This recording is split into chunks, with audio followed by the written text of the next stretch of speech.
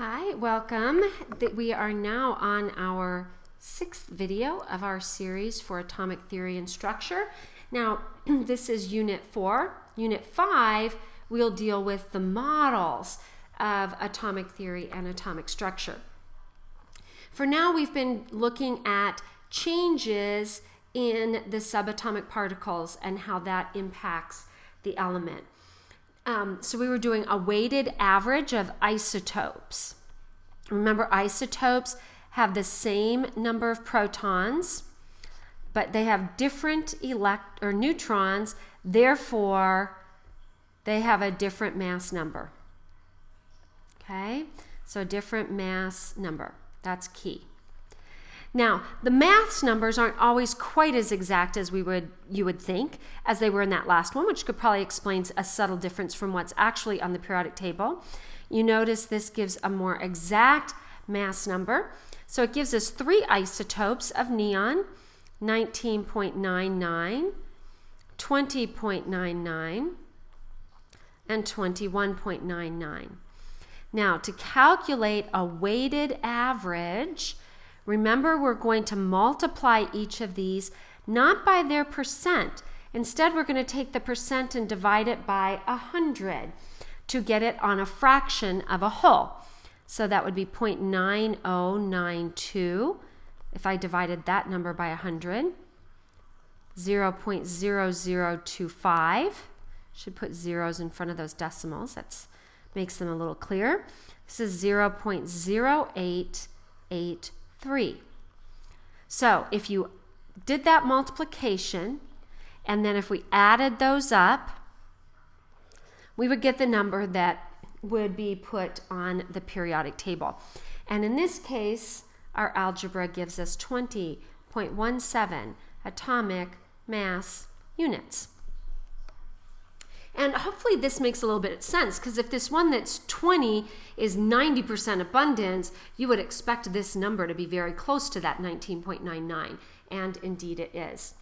Now the next one's a little trickier.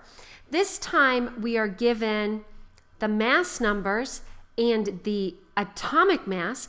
So we already have our weighted average. And this time the unknown is the percent abundance. So there's just a little bit of algebra to this one. So let's write down what we would have done. We would have taken the mass number times the percent abundance. I don't know what it is. So X is a handy symbol to put in when I don't know a number. Plus 109 times the abundance, and they're not likely to be equal. And so I'm going to put a Y there instead of another X. And if I had done that, if I'd known those abundances, I would get 107.87 atomic mass units.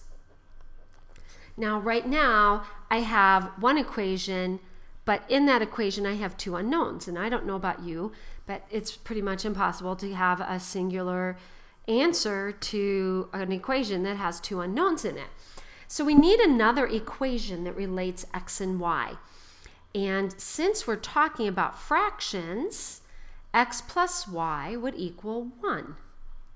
So now I have two equations, and there are many, many, many ways to solve this. Some of you have already done this in algebra.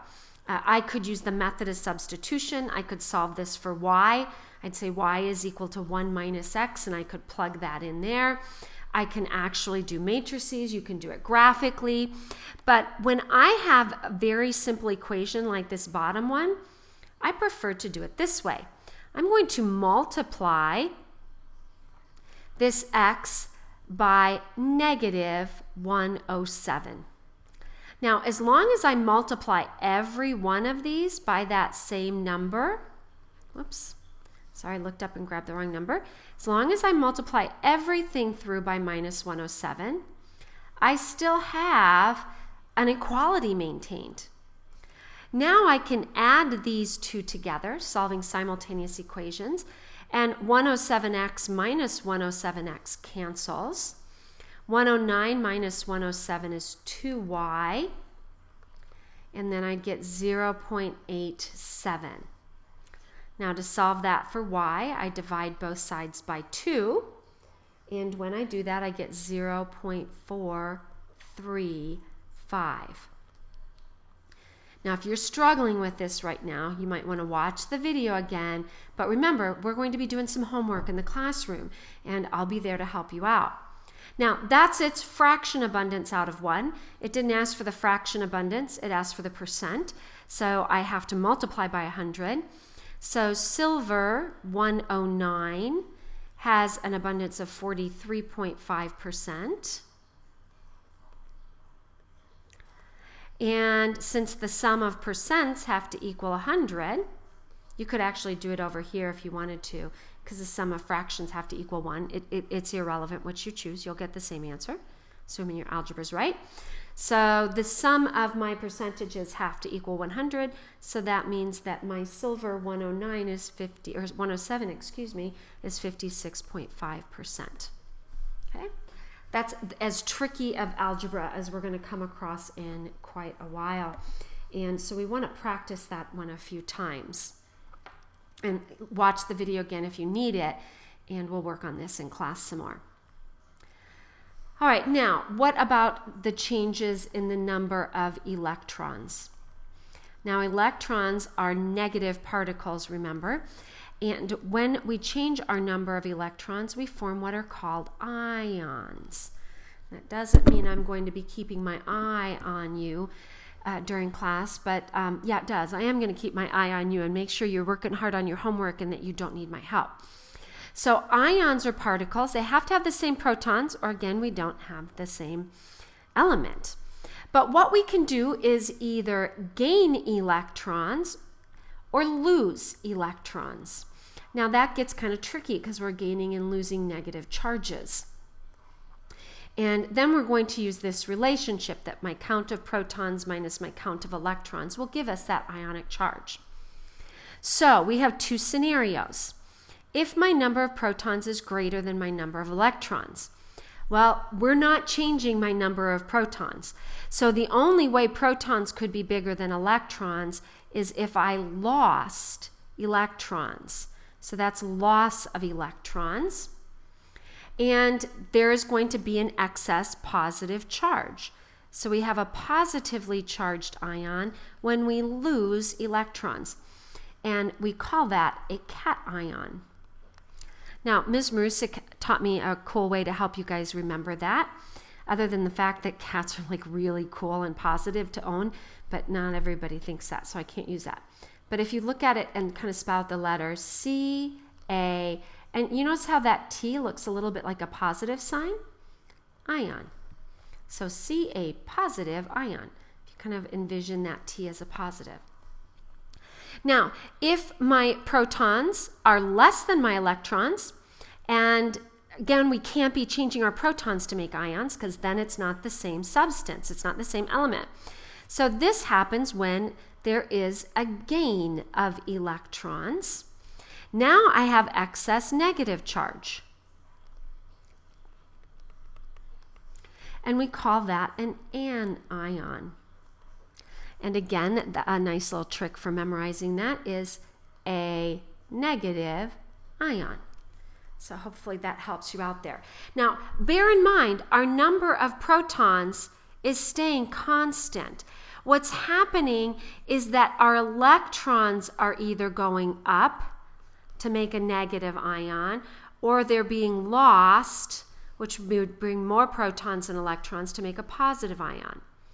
So, but it is only that gain or loss of electrons that does it. We're not changing protons.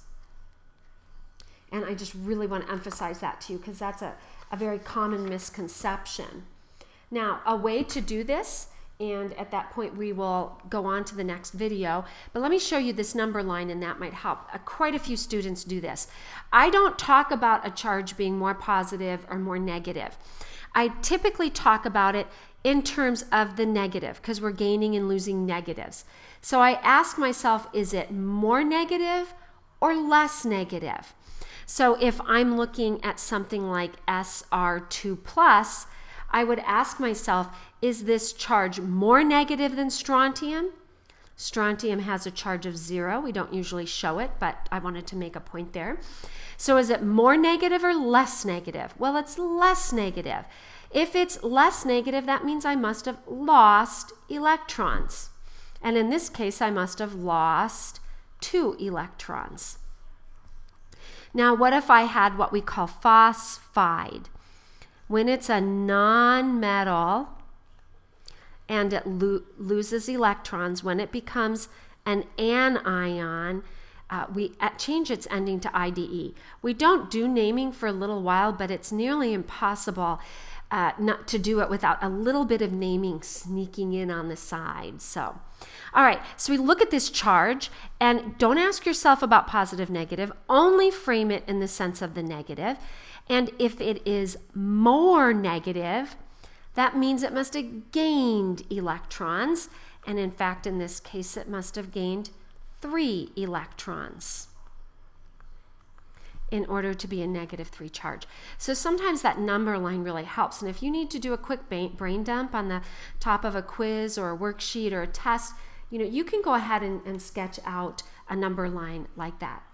Now, we'll be evaluating more ions and the symbols that we can use to describe a, a nucleus or an, an element in what may well be our last video coming up next.